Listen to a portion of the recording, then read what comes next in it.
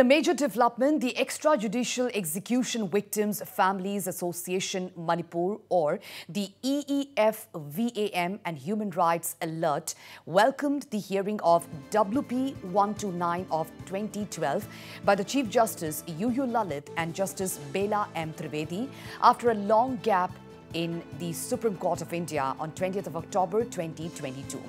The Apex Court directed the High Court of Manipur to dispose of pending issue of sanction as early as possible and preferably with six months from the receipt of directive order. Speaking to Northeast Live, Bablu Loitangbam, Executive Director HRA, welcomed the Apex Court directives and said that hope that they still hope hope still exists for justice to extrajudicial execution victims' family. It may be mentioned that on the behest of the Supreme Court, the SIT and CBI registered 39 FIRs. On completion of the investigation, 37 final reports were submitted to relevant judicial magistrates.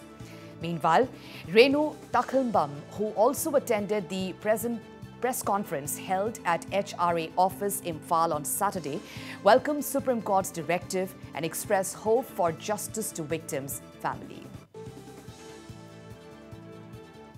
This is a very welcome uh, move because the matter of prosecution sanction uh, which has gone as a reference case from the uh, Chief Judicial Magistrate Imphal West has been pending in the Manipur High Court for almost a year and a half. Uh, so uh, this direction from the Supreme Court to complete this within six months is a very welcome move because as we all know, justice delayed is justice denied. And the sooner the court comes with a, a, a, positive verdict on this, the better it will be for the victims who are seeking justice for many, many years now.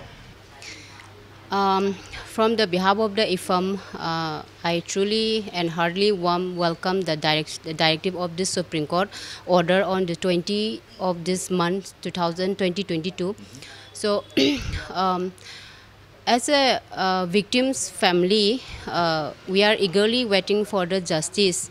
Since this uh, this order is uh, after uh, four years uh, we finally we got this directive so uh, maybe uh, that's after this directive um, we hopefully that we will get some fruitful uh, justice. justice. yeah that will be uh, very hopeful for the victim family will we get justice to the victim family